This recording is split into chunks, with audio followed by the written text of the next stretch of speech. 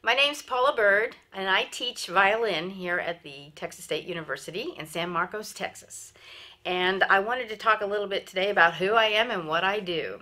I have two specialties that I like to refer to. One of them is my passion for teaching and that leads to the specialty of doing remedial work.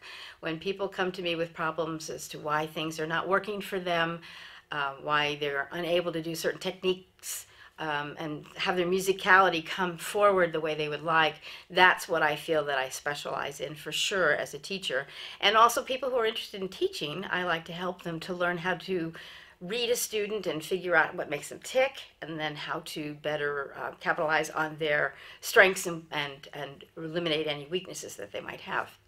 My other specialty and passion comes from my playing orchestral music.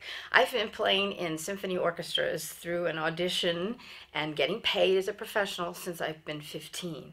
So that's well over 40 some years that I've been playing in major symphonies and minor symphonies, regional symphonies. I currently still play in a symphony here in our local area in the Austin Symphony, and I'm formerly of the San Antonio Symphony as well as Harrisburg Symphony.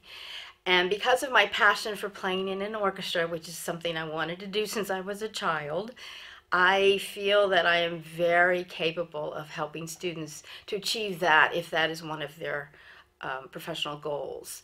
Uh, playing in an audition for a symphony orchestra is very different sometimes than playing just repertoire and chamber music. It's a different kind of a skill set.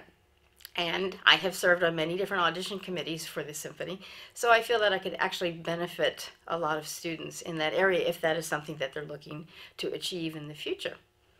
So if you're interested in coming to Texas State and studying violin, I would encourage you to contact me or one of the other professors here at the university and come down and visit. We will spend some time with you. We will introduce you to several of the students in the studio.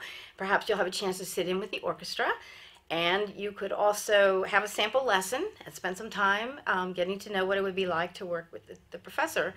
Um, I find it very useful to, to get to know your professor in advance before you decide what you want to do with a, a professor because this is the one teacher you would have in your college career who will get to know you better than any other teacher that you have because it's a one-on-one relationship. So everything you need to know. This is the person that you will probably be the closest to by the time you finish your university career. So I encourage you to apply to Texas State. I look forward to meeting you.